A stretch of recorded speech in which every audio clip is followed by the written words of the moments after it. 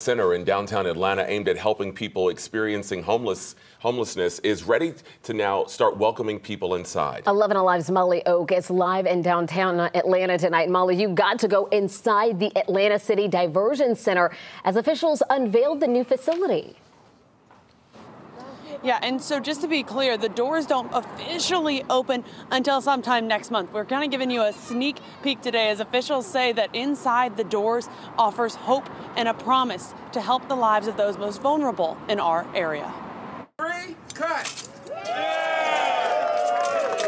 A clean cut for a fresh start. We know that substance use and mental health challenges affect many Atlantans and Fulton County residents and play a large part when it comes to homelessness, poverty, and the other socioeconomic factors. Today, Mayor Andre Dickens joined other leaders to open the doors to the Center for Diversion and Services. We've been looking forward to this day for some time since we knocked down the wall together. It's a 24 7 resource that leaders hope will put a dent in the number of people experiencing homelessness or poverty going to jail. For creating a more effective and compassionate public safety ecosystem. Along with services like case management, the center is complete with things like beds and showers, all aimed at giving people a clean slate.